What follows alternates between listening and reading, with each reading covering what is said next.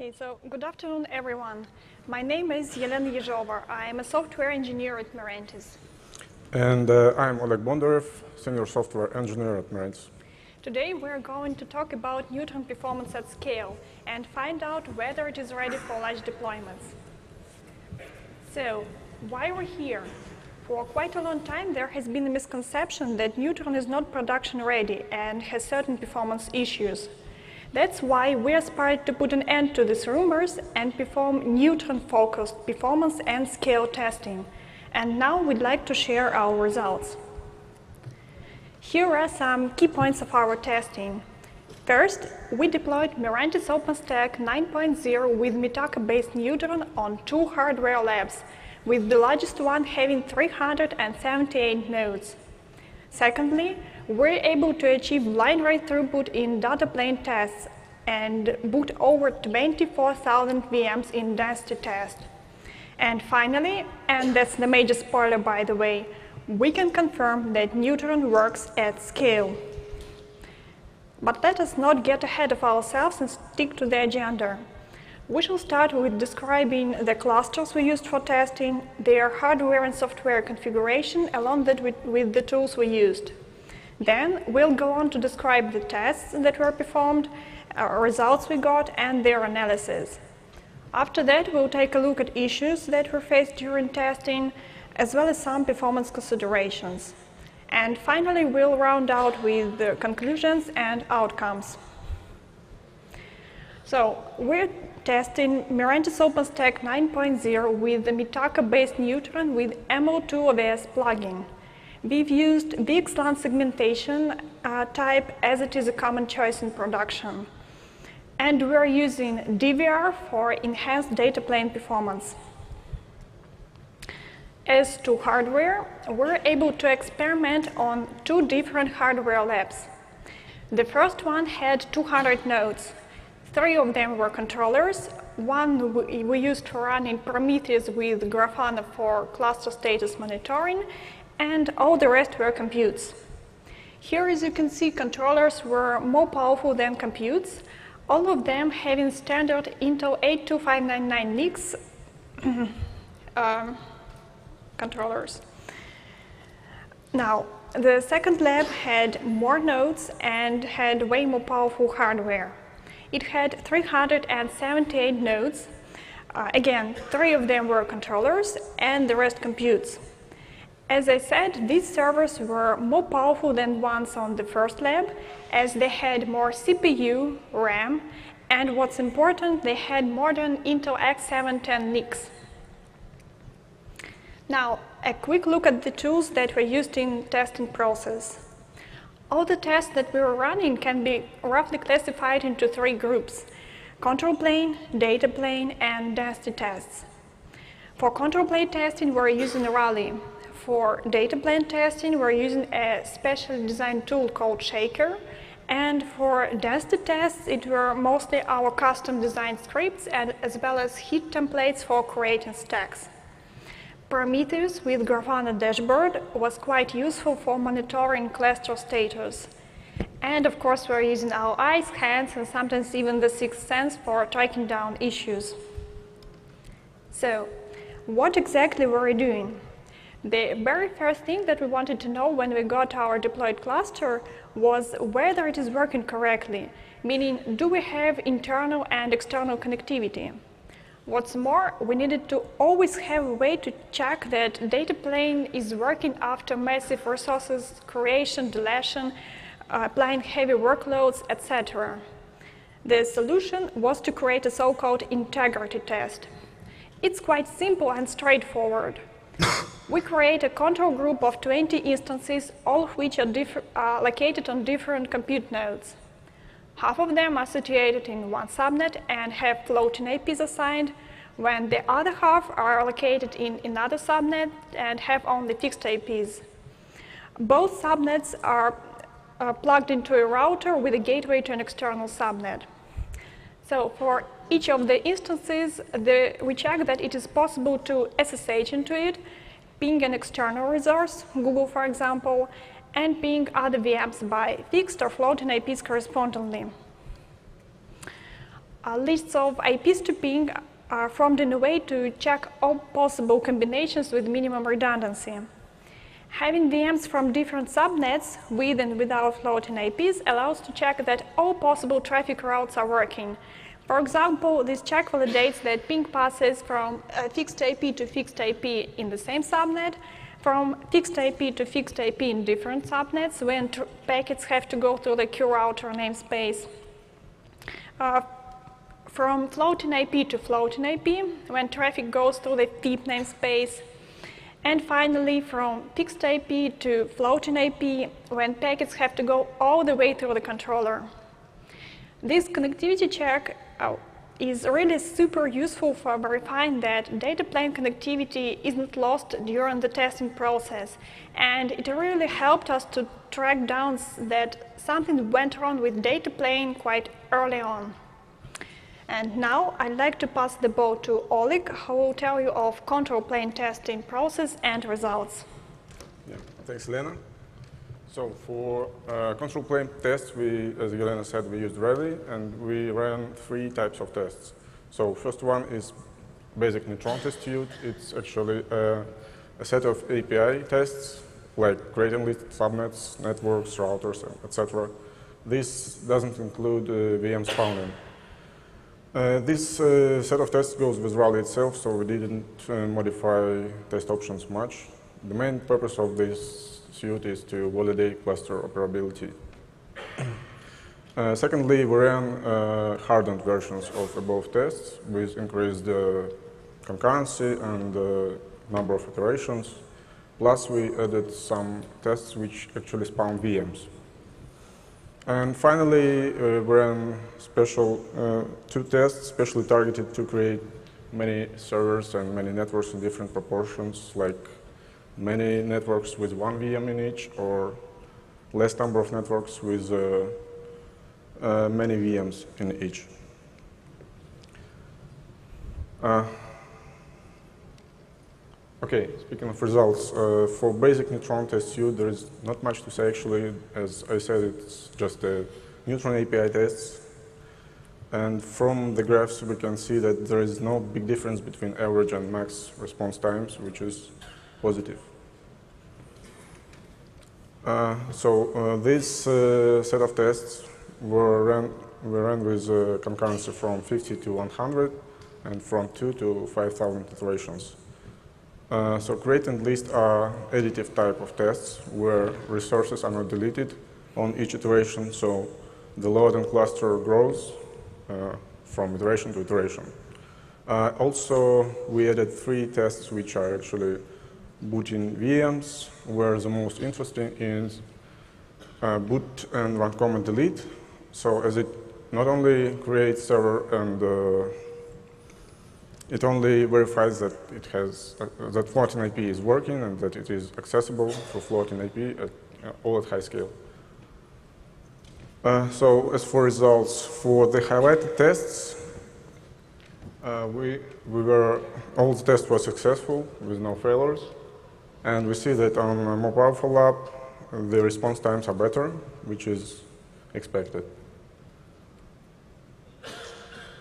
So for this uh, boot and delete server security groups and boot run command delete, we faced some issues initially on a 200 node cluster. Uh, I won't talk about issues. I, I, will talk about issues a bit later. So now I can say that after investigating and applying several fixes on a more powerful lab, we were able to run the tests without any failures, even with uh, greater concurrency. Okay, speaking of trends, uh, I can say that for create and list networks, we see slow uh, linear growth for create network and uh, as well for li linear growth for list networks operation, which is kind of expected uh, because the more resources we have, the more time neutron server needs to, to process. So it's even better for create and list routers as you see, it is a stable response time for create router, not dependent on the number of resources, and uh, really slow linear growth for list router. So uh, pretty much the same result is for create and list subnets. It's uh, slow linear growth in both cases.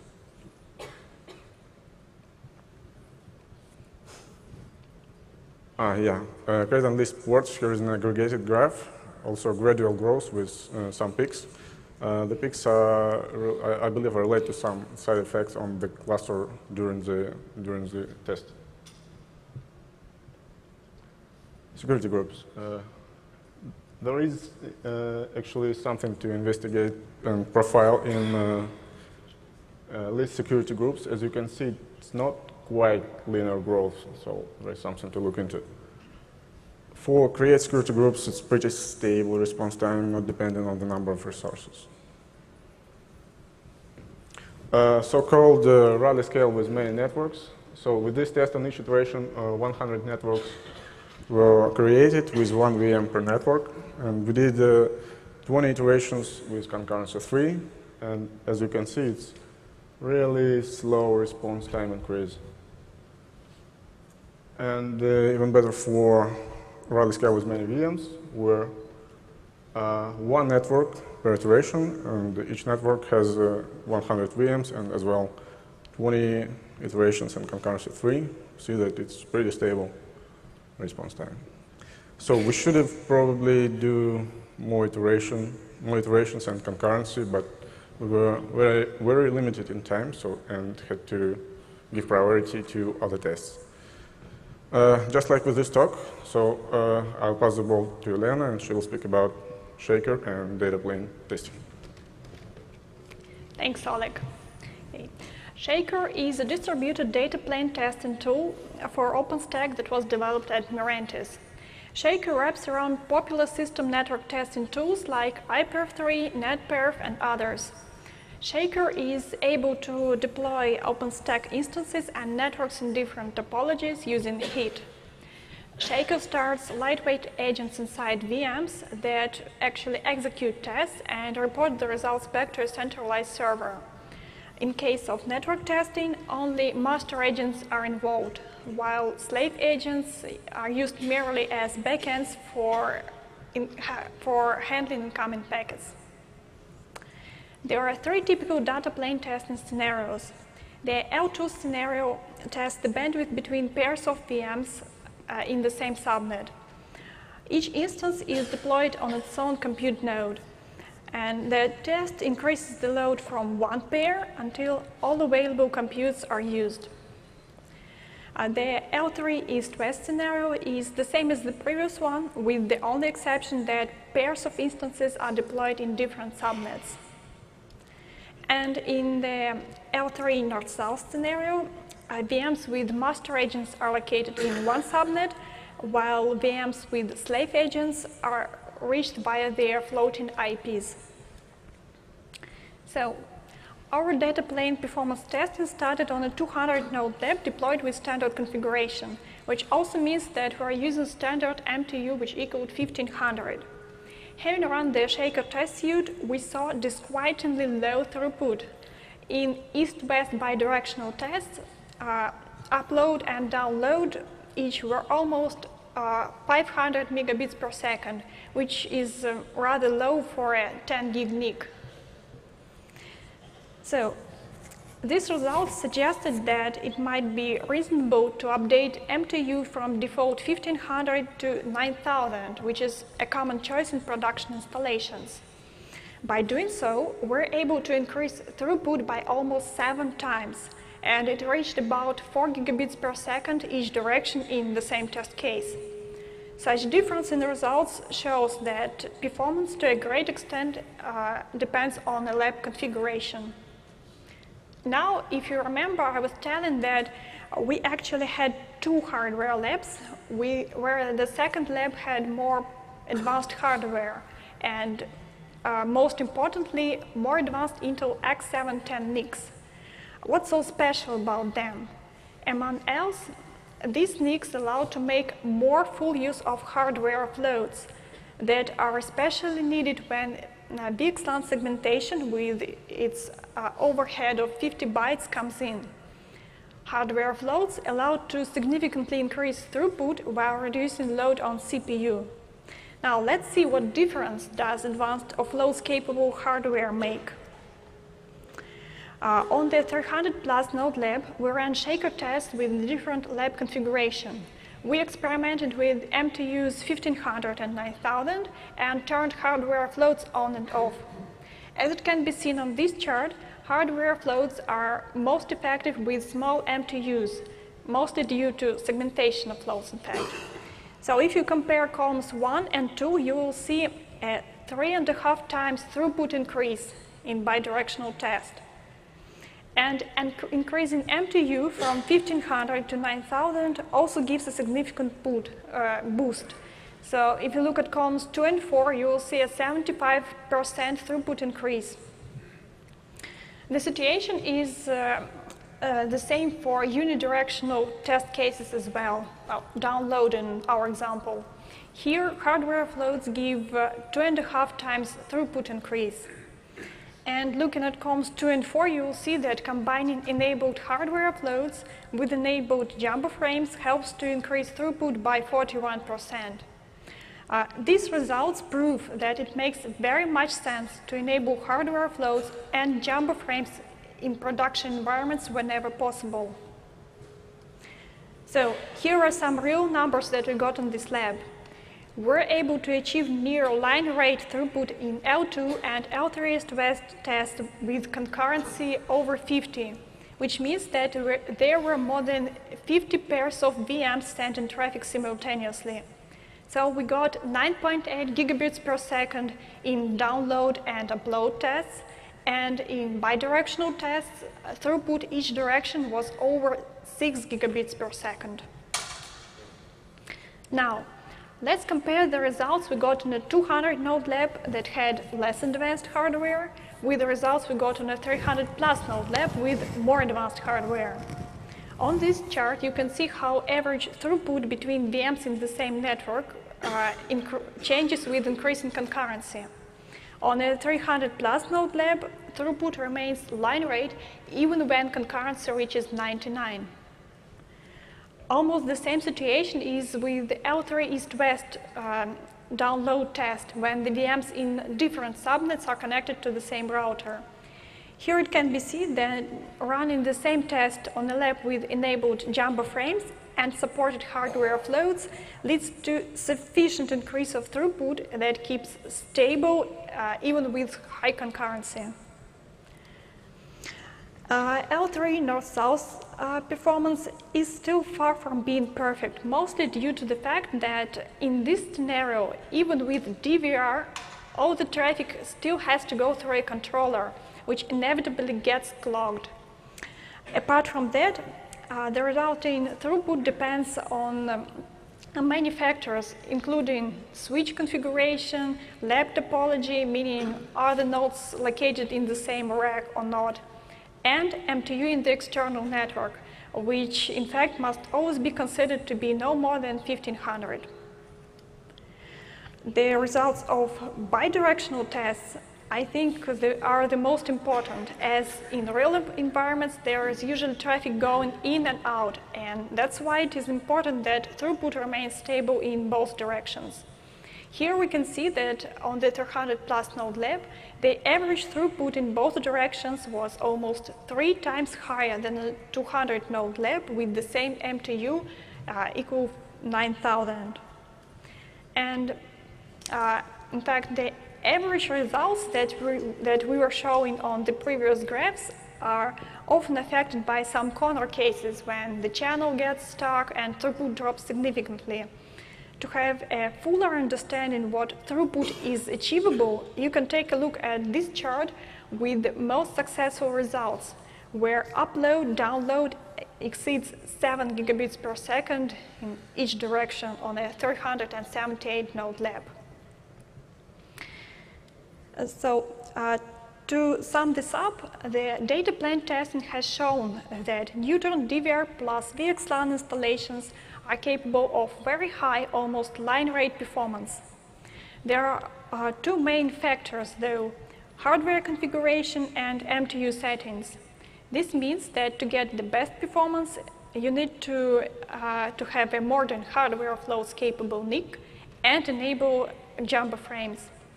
But even on older NICs that don't support all hardware offloads, uh, performance can be improved drastically, which the results that I got on the 200 node lab clearly show. Uh, their north-south scenario, however, uh, clearly needs improvements as uh, DVR is not currently truly distributed. And in this scenario, all traffic um, goes through the controller, which inevitably gets flooded. And now, Oleg will tell you about density testing and share probably the most exciting results that I got. Right. Uh, so with density test, we aim three main things. So first of all, boot as many VMs as the cloud can manage. Uh, secondly, not only boot, but ensure that uh, each VM got uh, external con got connectivity, got wired up, and got connectivity. And thirdly, uh, verify that data plane uh, is not affected by high load on the control plane. So essentially, the main goal was to load cluster to death, and to see the limits, and uh, see where are uh, the bottlenecks. And uh, yeah, additionally, of course, uh, check what happens to data plane when the control plane breaks. we only had a chance to uh, run this density test on a 200 node cluster. Uh, just to remind about the hardware, it has uh, three controllers with 20 cores and 128 gigs of RAM and 196 computes with 6 cores and 32 gigs of RAM.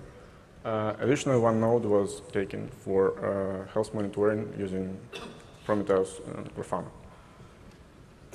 Uh, okay, so about the process. Uh, for the first version of uh, density test, we used HEAT.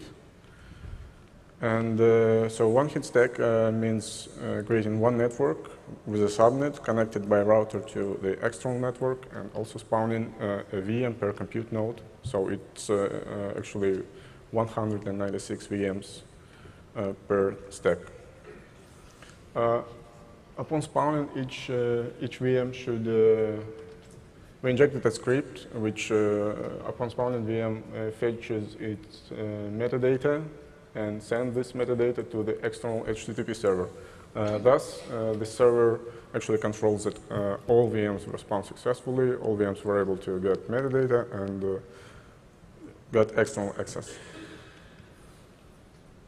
Uh, so we spawned heat stacks in batches of 1 to 5. Uh, most of the times it was five, so uh, one iteration basically means uh, up to 1,000 uh, VMs being spawned uh, almost sim simultaneously. between iterations, we ran integrity check by actually executing connectivity, connectivity check, which Elena described earlier.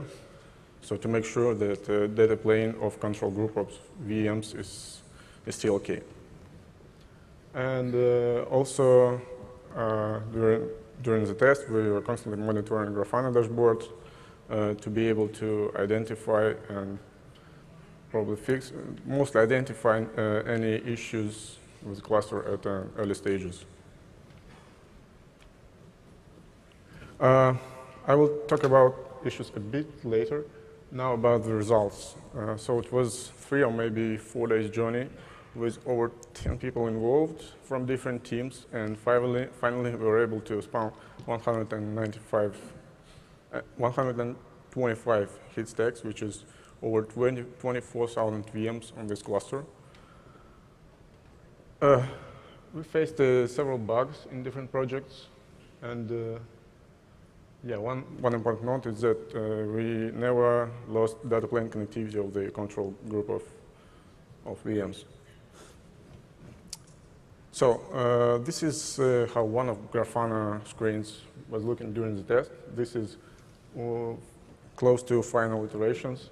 So it has, uh, it, it, it is showing uh, CPU and memory load, also load on database and uh, on network.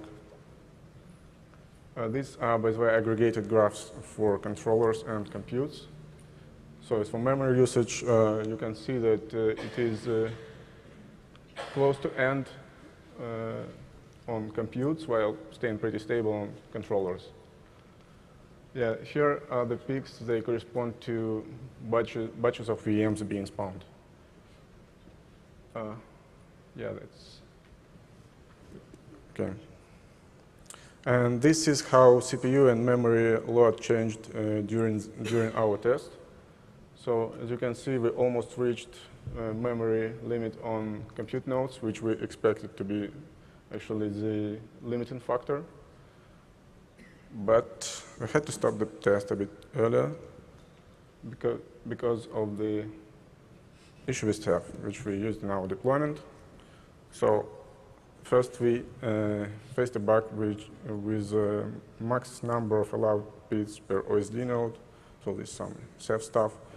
And uh, after this, Ceph monitor started to uh, restart and consume all, if not more, resources on controllers. So causing all other services like Rabbit and OpenStack services to suffer. Uh, after this failure, we were unable to recover the cluster even with the help of our test team. So we had to stop the test even before the uh, resources on compute nodes were exhausted. Uh, one pretty important note that even when cluster, this cluster went crazy, we still got a 100% success for data plane connectivity test for control group of VMs, which, which is quite exciting. Okay, as for other issues, at some, at some point we had to increase ARP table sizes on computes and then on controllers. So then we had to increase uh, CPU allocation ratio on computes. It's actually a Nova config, which is controlling how many virtual CPUs can be spawned on a compute node depending on number of uh, real cores. Uh, several bugs in Neutron. Uh, most interesting is uh, port create time increase with uh, uh, a scale. This, is this was related to DVR and actually was fixed by a two lines patch and quickly upstreamed and backported. Uh, backport to Mitaka, I mean. Uh, so another interesting and issue which deserves attention is uh, OVS agent restart on a loaded compute node, which has a lot of VMs, because sometimes agent may time out while reporting active, uh, active interfaces back to server over RPC. So this is a well-known issue, actually, which has, I believe, two alternative approaches to fix, two, al two alternative patches, and just needs to reach consensus. Uh, and also messaging bug which affected us pretty much and took some time to be investigated and uh, fixed by our messaging team. So this was related to agents reporting their states to, to the queues consumed by nobody. Uh, also, Nova, which when you delete a bunch of VMs, like a hundred of VMs at once, Nova computes may, may hang and after some time, mm, VMs are started to be deleted, but still you see in Nova service list, you see computes are offline, and this was actually also fixed. So the bug is, uh, is related to no interactions with Ceph. Uh, yeah, I believe that's all regarding the issues. So, and finally we can, after our tests, uh, we can say that uh, main outcomes are that no major issues were found with Neutron. So all issues that we found were either already fixed in upstream, and maybe we just backported them. Some we fixed ourselves and uh, upstreamed and backported. And one, one is uh, in progress, as I said, with alternative approaches to fix. Uh, so Rally test did not reveal any significant issues with uh, Neutron. In fact, the, there were no uh, threatening trends in rally test results. Uh, and the data plane tests showed pretty stable performance on all hardware. It was demonstrated that uh, high, high results can be achieved even with old hardware, just need to adjust MTU. And on modern har hardware with modern uh, network interfaces, even line rate performance can be achieved. Uh, yeah, again, important to note that uh, data plane for control group of VMs was never lost during the during our testing, all, all types of testing. Uh, the DST test showed that uh, uh, we were able to spawn over 24 KVMs on, on the cluster without serious performance degradation with just uh, three controllers. and uh, yeah, given the above, uh, we can say that Neutron is ready for large-scale production deployments on over 350 nodes. Uh, yeah, by the way, uh, the results and the process is uh, shared on OpenStack docs, so everybody can can go and check this. Uh, okay, that's pretty much all. We okay. I will return to the previous slide so everybody can take a picture. Uh, that's pretty much all we wanted to share with you today, and we have, uh, believe, some minutes for questions.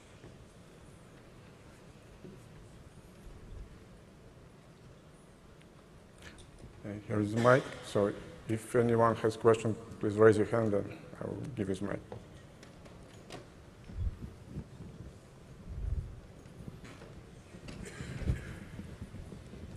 switch it. Sorry.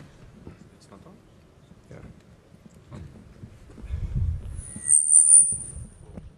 Okay. Do you hear me? Okay. So a question. Uh, 30 slides ago, um, I did not want to interrupt. but uh, on the subnet creation, port creation, um, it wasn't clear how many were creating and uh, what was the uh, throughput of creation of uh, ports or subnets. How many second or? Ah, yeah, we don't include that, that result. Slide 22 maybe. 22. Like, like here? Oh, yeah, you mean yes. uh, what was the, the time of the whole test, right? How many were creating? I mean, is the 14, what was this? What's the scale here? How many, how many subnets you were creating per second? How, how much time did it take? Uh, yeah, this graph does not show this because we, we can't include all the graphs that Rally is able to, to, to create. So, but we have uh, links to the Rally results where it can be seen, I believe. Here you can uh, build any graph you, you want to. Right, but what is the scale? Is this 14 seconds for a single subnet creation? Ah, okay. So this, Yeah, 14 seconds means that it is uh, the maximum time that got to uh, create a subnet during an iteration. Single subnet. Yeah, single subnet. So you can see So- some peaks at the end. So, So, so a few months ago in Open Network Summit, PayPal gave a lecture saying, you know, NSX doesn't scale beyond 2,500 compute nodes because of the control plane, right? Now, data plane, fine, you showed that it's, uh, uh, yes, data plane, you showed that is uh, um, line rate or near line rate, but if you're talking here about 10 seconds, 14 seconds to create a single subnet, I don't see how you're saying that's uh, production grade ready. So this was uh, uh, 50 or even 100 concurrent, uh, uh, concurrent uh, threads which were creating subnets. So it's not ser- serialized. So it's uh, 50 or 100 concurrent threads. So how long did the entire, so this is 14 seconds for 100? No, Subnet this is uh, single? 40 standards for one. So you have uh, 100 threads, each creating a subnet, and the maximum uh, time that uh, some thread uh, in one thread was 14 seconds. Yeah, when you already have 2,000 uh, subnets created. 40 seconds is the worst case. Okay. Then what is average? Well, the the average. These graphs have not show the average, but I believe it's kind of five, maybe maybe four.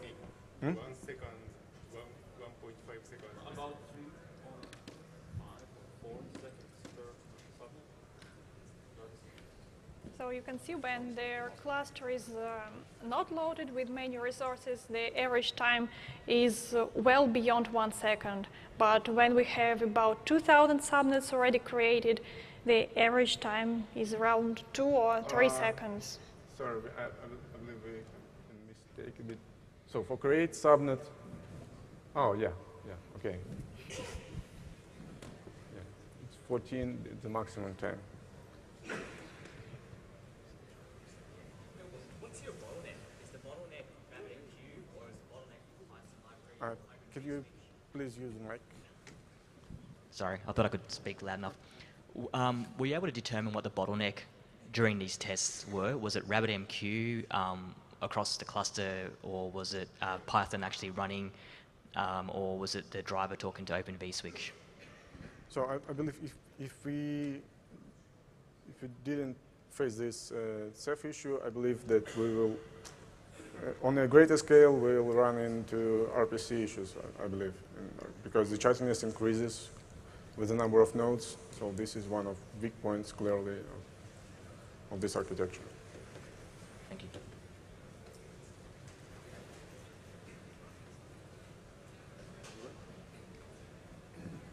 Uh, could you, yeah, give the mic over there?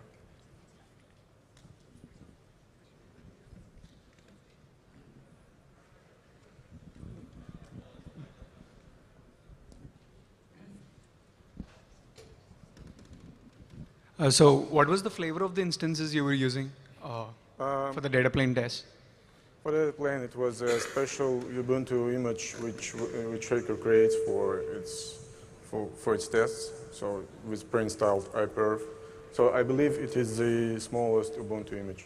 Uh, did you also do any kind of tuning of netperf or iperf threads on the instances?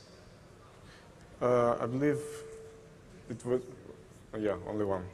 We have a sh- Shaker expert actually, sh- Shaker developer here. So I use his- his help. And did you also have to tune any of the Linux parameters for any of these tests for the data plane? Uh, I'm sorry. again. Sorry? Yeah, I'm sorry. Could you repeat the question? Okay. Did you have to tune Linux in any of these data plane tests for better network performance Uh, we didn't in the VM or on the compute nodes?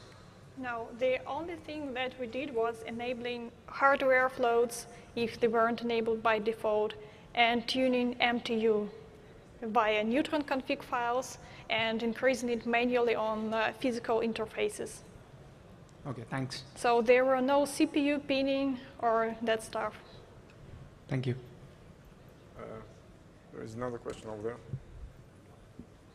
Um, so, what specific reason why you disabled native implementations for OpenFlow and OVSDB interfaces in Neutron? Is it performance issue? Uh, yeah, with native interfaces, uh, at the time we were testing this, uh, there was uh, a couple of bugs with uh, native OVS o- OpenFlow implementation. Not sure about OVSDB, but that that's how uh, MOS 9.0 deploys it by default. So until it's not tested, it, they are switched off. So, but but I believe that in future versions, after some performance testing with uh, turned on OVSDB and OpenFlow native implementations, it should work.